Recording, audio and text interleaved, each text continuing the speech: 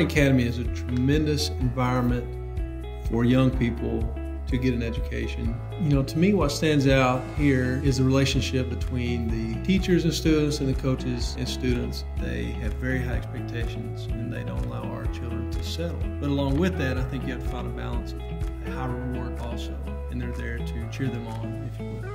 Academics play a major role here and they just want to see you strive in everything that you do. The teachers, staff, your coaches, everyone here just wants to see you succeed. Uh, Harding Academy creates a, a, good environment, and there is a lot of positive peer pressure. They focus on how you should treat people. Instead of focusing on the negative and what you shouldn't do so much, it's more of how you should treat people.